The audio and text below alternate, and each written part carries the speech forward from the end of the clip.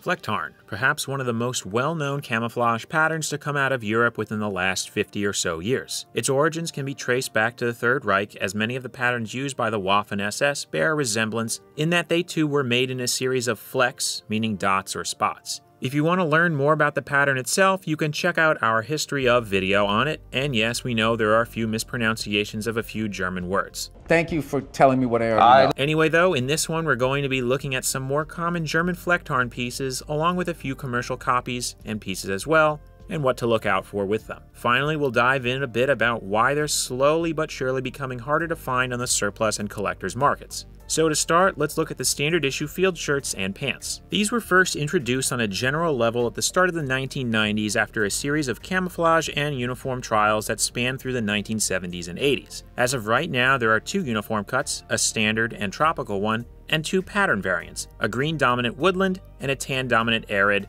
or desert version. Regarding the actual uniform cuts, there have been a few changes to them since their first appearance. So let's start with the first iteration of the most common standard issue one. The shirt features a basic zip-up front closure with a cover flap that's secured by black snap buttons. These are seen on pretty much every uniform piece, with early ones being a painted brass that was prone to wear, so at some point in the mid 90s they were switched over to a black plastic one. On either side are two chest pockets. The wearer's left featured slots for pens along with a Velcro strip above for name tape, these were closed by way of the same buttons along with two small Velcro strips in the middle. On the shoulders are tabs for rank slides as well as small German flags, which have been a staple for German and West German field uniforms for quite some time, stitched onto the sleeves. Below the flags on the wearer's right side is a single pocket which included a small slot for pens and pencils, along with a single buttonhole which was apparently to hold pocket knives. Additionally, along the front closure are two buttons that were used for attaching the older square-shaped flashlights. The armpit area has six little holes for ventilation, and finally the cuffs can be adjusted by way of a large strip of Velcro.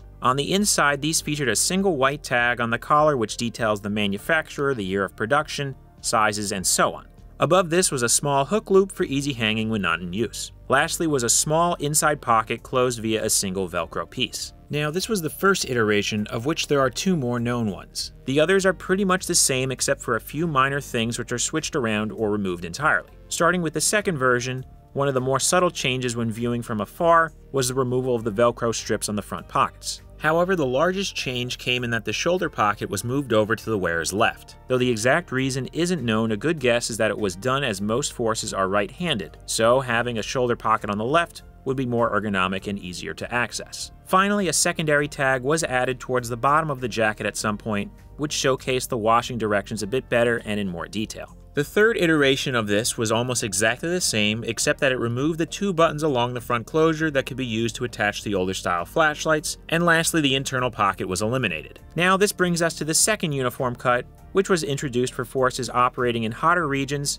that weren't necessarily arid or composed of desert terrain. This version really only saw three minor changes, which were the six holes in the armpit area being replaced with netting to allow for even more ventilation, the front zipper being removed, meaning the closure was secured by just the buttons, and finally the fabric becoming a bit stiffer due to the insect repellent impregnated into it.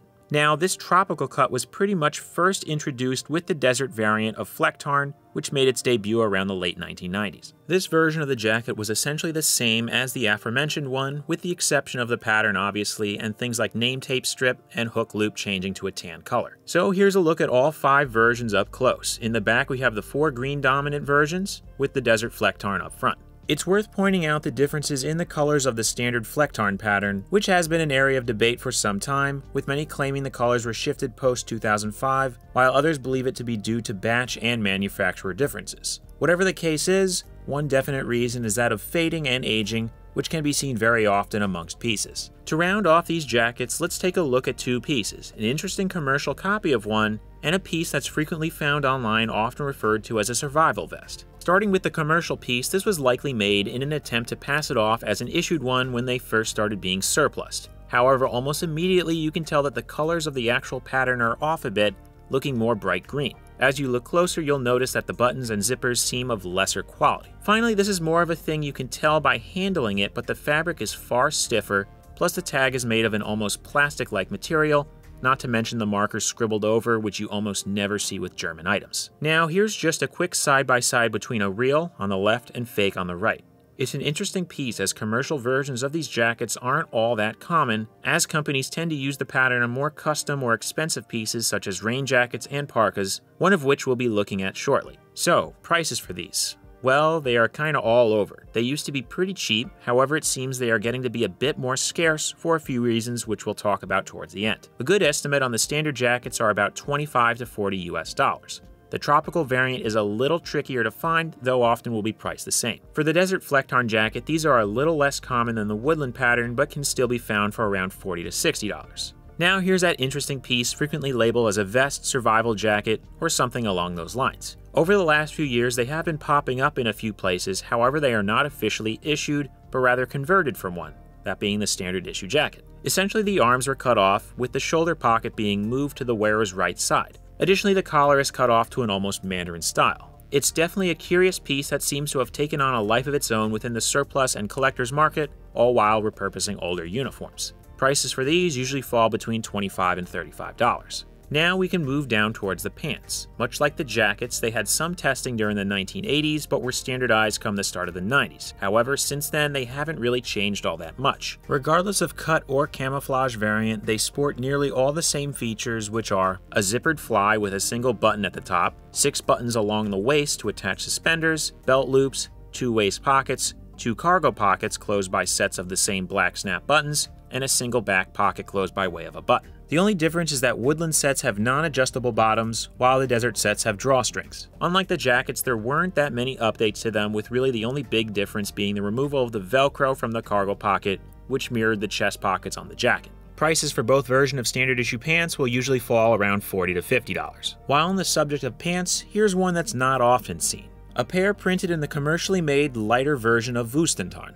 Pieces of it aren't the easiest to find, the most sought after being made by the company Saber that pretty much introduced the variant, however if you look hard enough you can find them. Since every garment made in the pattern is technically commercial, they will often differ from standard issue pieces, however this one was made in the same cut as the issued pants. This means prices will vary from item to item, but expect to pay upwards of $50 per garment piece, minus maybe a hat or something smaller. Speaking of hats, up next we have headwear.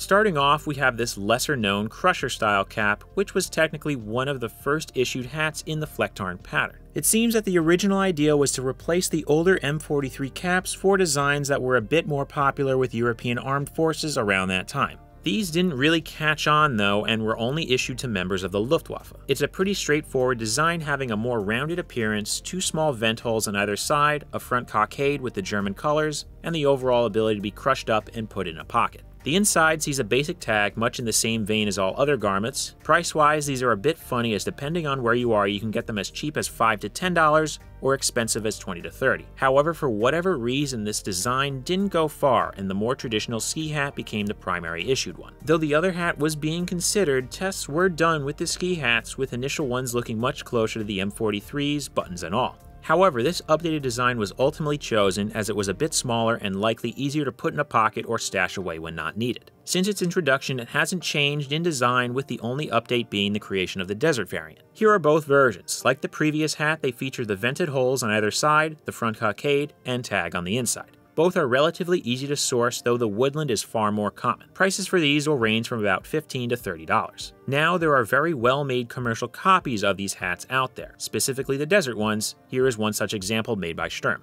As you can see, color-wise, they're practically identical with the main differences being the sizing of the stitchwork and a more flat-fronted portion, whereas original issue ones flare out a bit. Next up are boonie or jungle hats. Because Germany was a bit slow with developing their desert attire, they initially had a modge podge of uniforms and camouflages. Tan boonies were issued for a time. This is mentioned because the cut was then used with the Flecktarn pattern. It features a chin strap with small leather adjuster piece, vent gaskets on either side, and a single snap button on the wearer's right to secure the brim up. Now, these are most common in the arid version, with the woodland being somewhat harder to find, though pieces are still relatively cheap, coming in at around 15 to $30. To round off hats, we have the general purpose winter one. These feature a small adjustable brim, ear flaps which can be secured up by a long strip of Velcro, faux fur lining, and tag inside. Prices for these are around 10 to $15. To end our close-ups on garments, we have the general issue parkas and one final commercial piece. To start, we have the parkas. These are a bit longer in design with the idea to cover past the wearer's waist. They feature a number of elements that were pretty much the same as the jacket, such as zip-up front closure with cover flap, which was secured by way of snap buttons, Velcro secured shoulder tabs,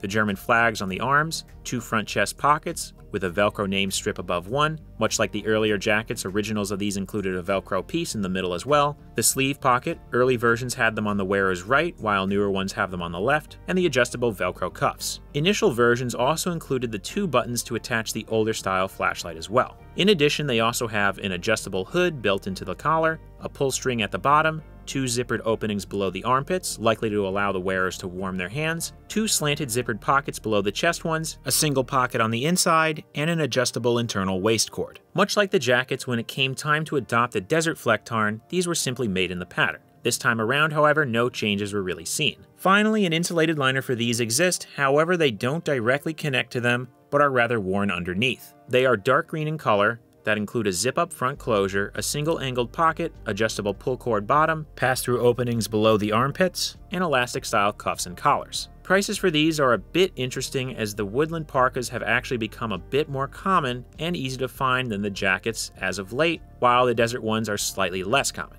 For both versions, expect to pay about 25 to $60 and 20 to $40 for the liner, which is relatively easy to find as they're popular standalone pieces. Finally, we have our last piece, a prime example of a purely commercial garment printed in Flecktarn, this waterproof insulated parka. Like the hat from earlier, it's made by Sturm Mil-Tec, which is essentially the commercial arm of the company Sturm that sources many surplus pieces from governments and other official manufacturers. Essentially what that means is that they make pretty good quality commercial replicas and pieces in general. Though it deviates from German design in many regards, it's still nicely made with a detachable liner connected by zippers, a big hood, large front pockets closed by way of Velcro, and nice internal pockets. And that more or less covers most of the common, or at least more commonly used, Flecktarn pieces of the German Bundeswehr. Now, let's quickly discuss two elements tied to Flecktarn, why pieces are slowly drying up on the surplus market and the fashion side of things. So, if you do a search of Flecktarn online, you'll notice that there are still quite a few results many of which are items being sold. However, things like the jacket and pants aren't as common as they once were, and prices have generally come up a bit. Though surplus pieces are still abundant, most of them are before the early 2010s or so.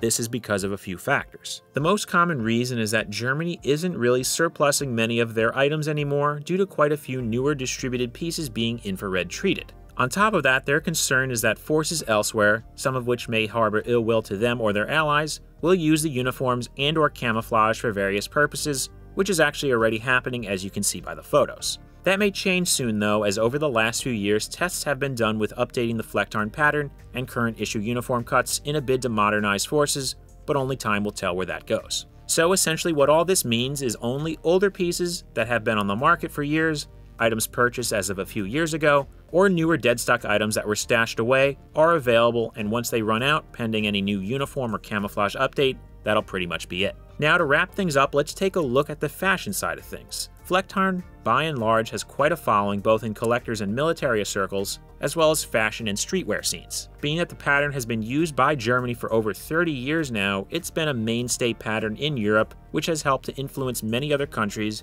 and because of three decades worth of surplus items, has permeated into the public sphere. Though it's not as flashy as other patterns that have been co-opted by companies for fashion movements, its unique design has a certain appeal that transcends its intended concealment purpose. This has led many vendors and outlets to mark up their pieces as vintage, as it has fallen victim, at least in some instances, as upcycled or hip pieces to both own and wear. But that will pretty much do it for this video, hopefully highlighting these pieces has helped some. A very special thanks to the Sportsman's Guide who supplied the Desert Boonie, winter cap, vest, parka liner, as well as the Sturm Mil-Tec hat and parka. To our US and Canadian viewers, you can find these as well as many other Flecktarn items for sale right now on their website. Link to which, along with ones for every item provided, can be found in the description below. If you enjoyed the video, why not leave a like and subscribe, or just check back soon for more a close-up on combat clothing right here on Uniform History.